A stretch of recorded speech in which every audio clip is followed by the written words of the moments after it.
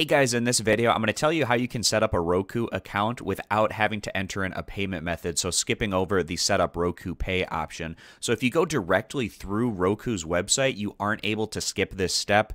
As you can see in this video that I made before on how to create a Roku account, you get to the bottom, it says save and continue, but there is not an option to skip this step. But I'm going to show you how you can get that option. So this is another Roku TV video that I made. So in the process of setting up your Roku TV or Roku device, you'll get to this screen where it's going to ask you to activate. And then from this activation screen, you're going to enter in your email address. Then Roku will send you an email to activate your Roku. So you click on where it says activate device. And then you go through the process of activating the Roku device and creating a Roku account. And then again, getting back to the billing information page when setting up the account, it has the save and continue option at the bottom, but also below that, you can skip this step so you don't have to enter in a payment method.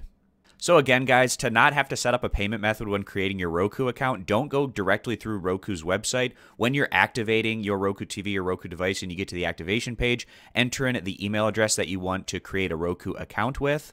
Then Roku will send you an activation email to activate your device. Click on that. And when you're going through the account setup process, it now gives you the option to skip this step in the billing information page.